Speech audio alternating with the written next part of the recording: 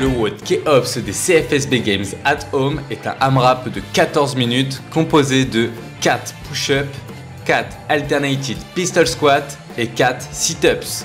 Vous devrez réaliser 4 répétitions supplémentaires par exercice à chaque tour suivant, c'est-à-dire 8, 8, 8, 12, 12, 12, etc.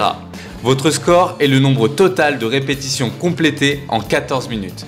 Pour les standards officiels des mouvements, référez-vous à la description du WOD dans Competition Corner.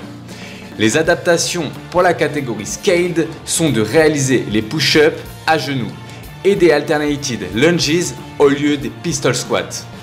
Bon WOD à tous de la part de toute la team CFSB.